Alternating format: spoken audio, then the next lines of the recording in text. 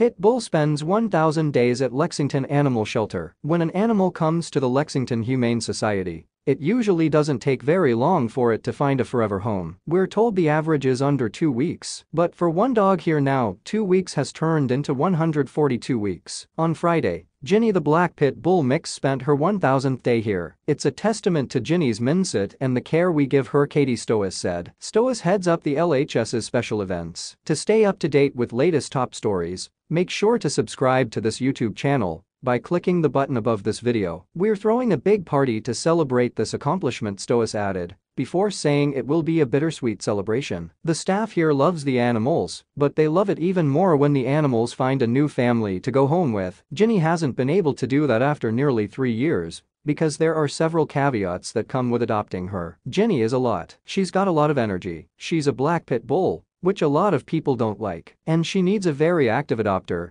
because if she doesn't get that energy out, she does get a little destructive. She also can't go to a home with other animals and can't go to an apartment Stoess explained. She also can't, or at least shouldn't be around small children given her strength. She's a kind dog but rambunctious. One of the things about Ginny is she's always happy. She is not a dog who has regressed by being in the shelter, said Ashley Kirkwood who volunteers with LHS and takes Ginny for long walks several times each week. Kirkwood knows Ginny would be great for the right owner and Stoess hopes that person comes along too. This is her home and we treat her like our own dog until the right person comes in. We'll keep doing the same Stoess said.